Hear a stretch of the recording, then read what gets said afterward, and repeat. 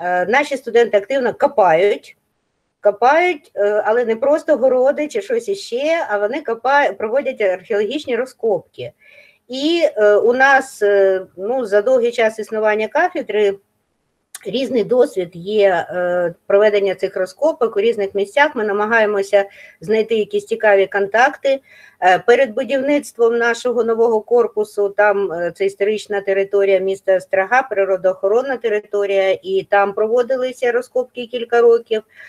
Працювали наші студенти з експедицією Інституту археології на Дністрі, розкопували трипілля з польською і з німецькою експедиціями працювали на теренах Острощини і, Хмельниччини.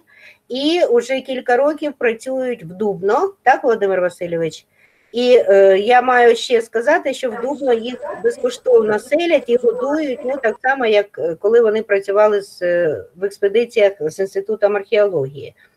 Тобто е, це для тих, хто мріє стати істориком-археологом. Є у них науково-дослідні практики, є е, музейна е, краєзнавча практика.